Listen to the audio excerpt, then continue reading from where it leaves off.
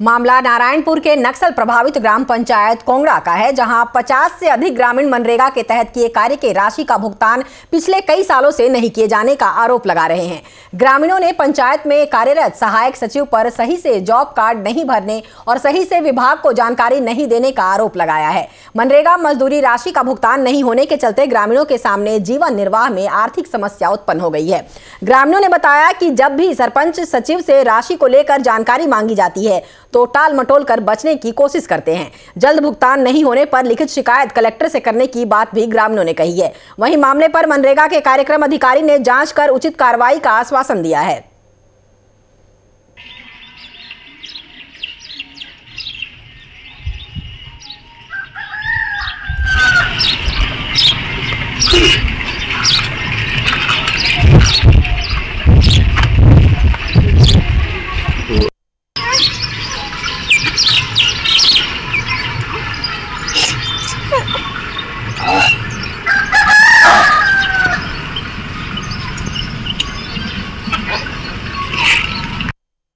आए थे।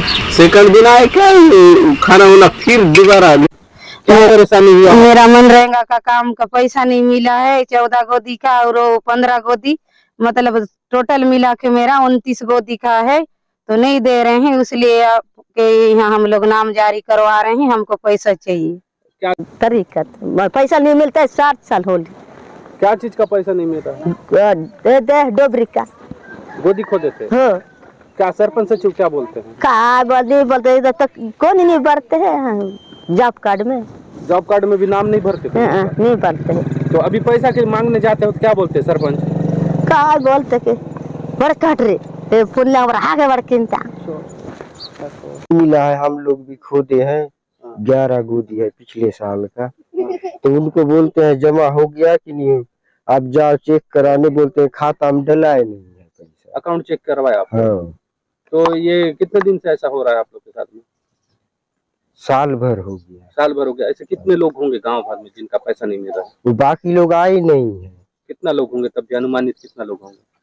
होंगे साठ सत्तर साठ सत्तर। ता गोवाड़ गेले नारायणपुर गेले नी मेरे तो डालला सद गोदे खाता में बेलला। नी सरपंच सचिव काय बोलतो उन ब्रुता सांगे से। बैंक जहाँ बोलता है। हाँ बैंक।